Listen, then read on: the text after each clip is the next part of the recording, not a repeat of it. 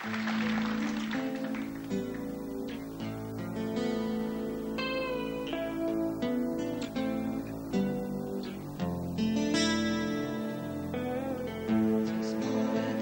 oheň, láska nás prevedie, hrabo nás podvedie, telom aj duši, že nespovedie, lepšie nič nevedie, najlepšom prípade. Len niečo tušiť, vie to aj viatači, vie to riaditeľ školy, že láska občas tak nádherne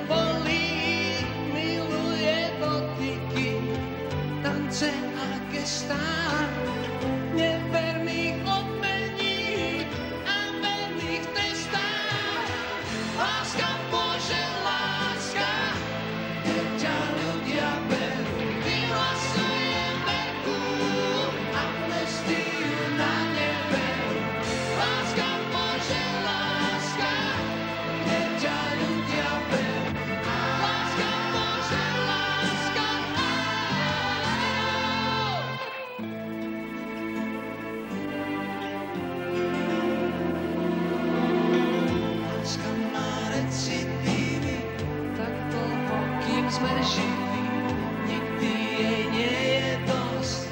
Má čudnú minulosť, láska je zázrak, ktorý sa koná bežne.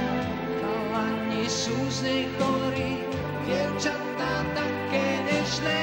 Láska je kukla, ktorá sa na motýra zmení, až keď